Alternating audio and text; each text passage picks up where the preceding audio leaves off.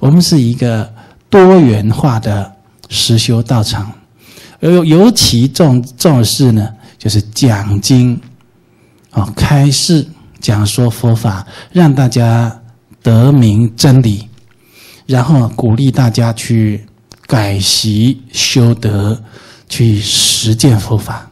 我们是这样的一个道场，在这样的道场具有极为殊胜的功德力和解脱力。就是你有什么样的问题来到这个地方，他就应该在这里要解决了。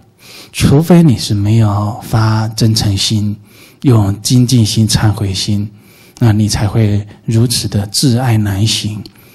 嗯，任何的苦啊，都是有它的前业。以前我听过一个感应故事，我们这个有一位同修，嗯，那他的一个朋友呢。家里是开那个烤鸭店，我每次看到就深深的祝福他，不断的为他持咒，为那些生灵呢来念这个往生咒，希望他能够往生善处。我就想，你如果去做这样的杀业，啊，有人就说啊，我这个杀大家不吃，我也不杀呀，对不对？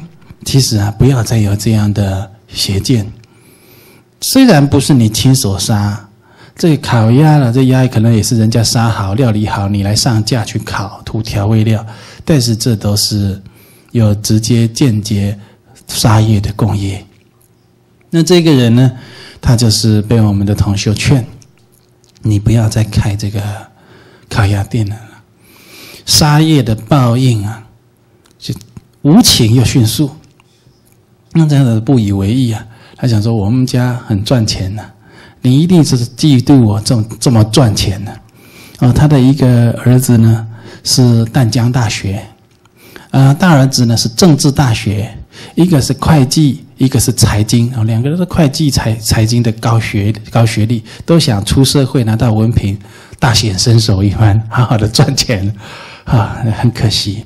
那后来的这大儿子呢，他去国外拿硕士学位。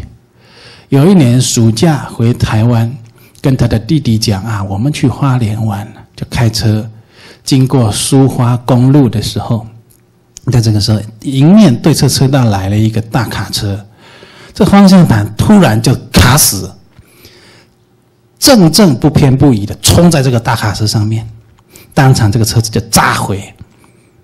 那么这个警方的消防队来抢救的时候呢，两个小孩。都是大学毕业，一个是硕士，烧的焦黄扭曲就在车子里面，这是一个真实故事。如果这个老板呢，他当初接受了我们同学的劝告，你不要再做这个商业，他哪里会有今天这个苦果呢？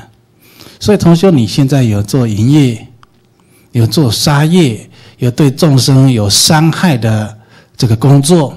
不管是人家知道的，或者是你暗中进行的，大的小的，你来到道场听我们这样苦口婆心讲，自己应该去规划。哎呀，我慢慢要改行了，或者我快快改行了，就是最好。可能改行以后经济啊会不如以往，但是那样子有副作用的钱呢，你赚了花了也不安心呢，一定会付出代价。那所以同学呢，你自己。要好好为自己的人生做规划、做打算。